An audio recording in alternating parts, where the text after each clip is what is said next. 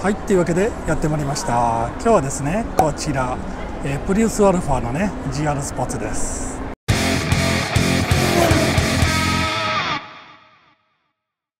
いや GR スポーツねあったんですね。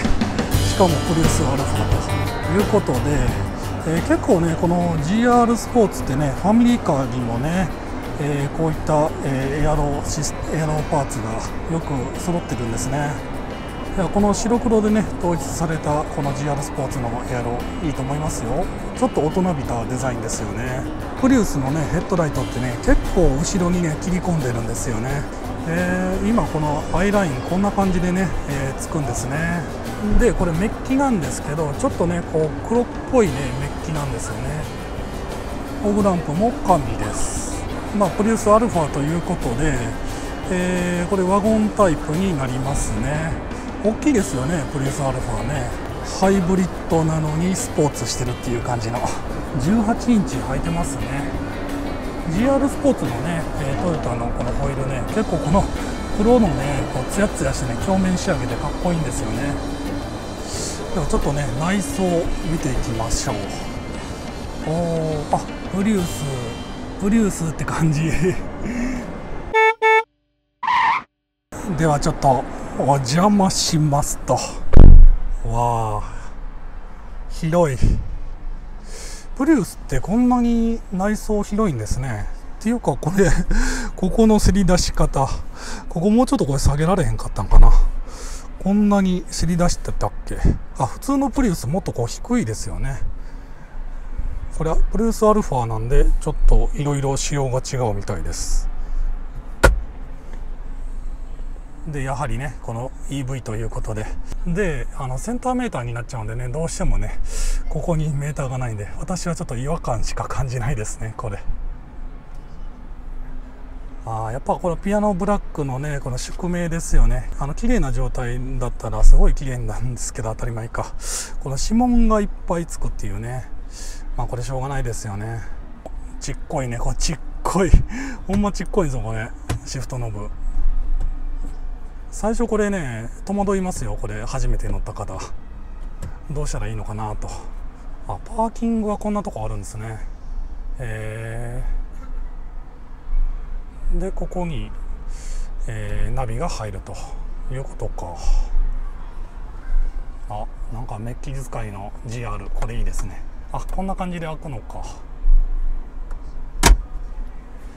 うん。シートはねシートも GR 仕様になってますね。あの GR 仕様のねシートってね 本当にね質がいいなと思います。スポーティーなシートなんですけどそんなにねあの硬すぎないっていうところがいいと思いますね。ではこの流れで後部座席に。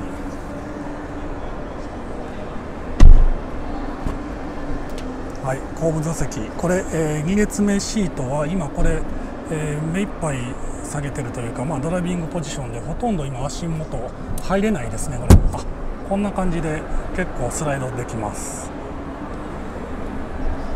はいお邪魔しますと。うんまあこれ私ちょっと体が大きいんでね結構これ後ろ気味なんですけどまあそれでも、えー、拳が1個入らないぐらいですね。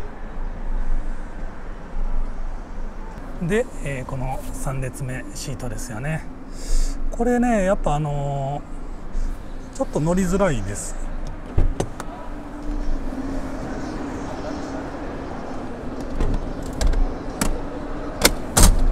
こんな感じで、えー、倒れはするんですけどこれこれこれ以上前に行かないのか。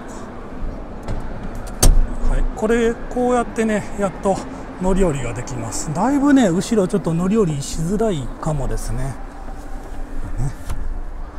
はいこんな感じ。これもう立てたらほとんど膝が入らない感じですね。いや後ろは狭いです。で、えー、これ後ろから見た感じね。こんな感じですね。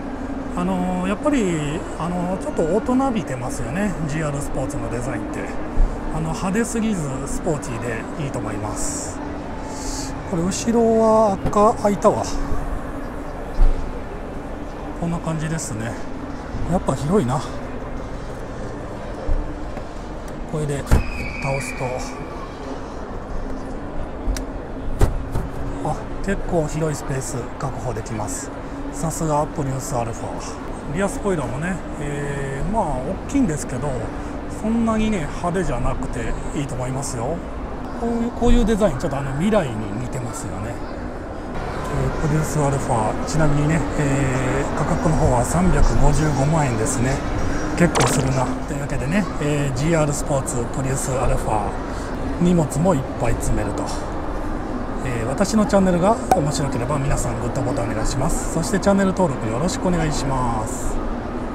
はいというわけで、えー、GR スポーツ、えー、プリウスアルファでした。じゃあねバイ。